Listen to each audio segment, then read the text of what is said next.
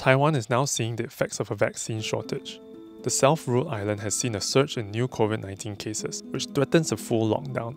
This is a far cry from before, when it has remained relatively free of COVID 19 for almost all 18 months of the pandemic.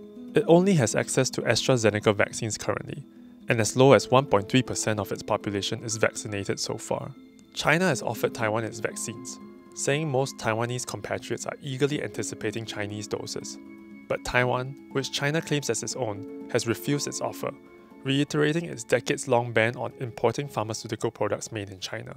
Taiwan's health minister said that Chinese made vaccines are not an option, due to the ban and because they don't appear to be as effective. Taiwan has also cited the global shortage of vaccines as the reason why its stocks are low. China and Taiwan have traded barbs frequently during the pandemic, with China's vaccine offer being the latest issue to spar over. Beijing has accused Taipei of playing political games using its people's lives, while Taipei has implied that Beijing was behind its difficulties in getting more shots, a claim that Beijing has dismissed as nonsense. Most recently, Taiwan said it doesn't believe China is sincere in offering its vaccines, and that China is launching a political warfare to split and weaken Taiwan. And for the first time on May 26, Taiwan has accused China of blocking a vaccine deal with BioNTech after China offered the shots to the island via Fosun, the Chinese pharmaceutical firm that holds the rights to distribute the shots in Taiwan.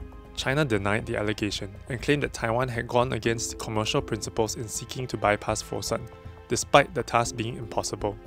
Taiwan's health minister further said that BioNTech required Taiwan to drop the word country from the deal, before it ultimately collapsed, even though that Taiwan claimed it was already finalized.